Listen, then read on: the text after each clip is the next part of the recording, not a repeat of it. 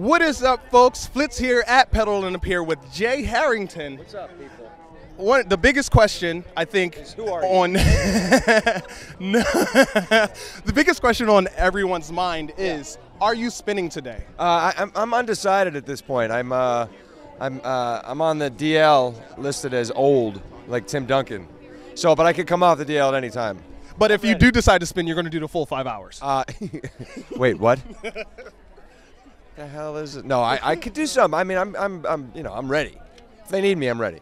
What what brings you to Pedal on the Pier? What what made got you involved with Well, Pedal a and couple of my friends are involved, and they um, were talking about it. I live in Santa Monica. Um, I come to the pier not as often as I should. This is like my third time. I've been here 15 years, but they said coming on down today. I thought it was a great. I saw what it was that, that Pedal on the Pier is all about, and I, I thought this is something I want to be involved in. Supporting a good cause, getting getting kids Yeah. athletic chance. Exactly, and also to get away, you know, get away and do something fun for a couple weeks. It's, it's have those memories. I, you know, I did it as a kid, and you have those memories still from camp and from, you know. So the fact that other kids can't do it, you take it for granted, and it's a good, good thing to send some kids away.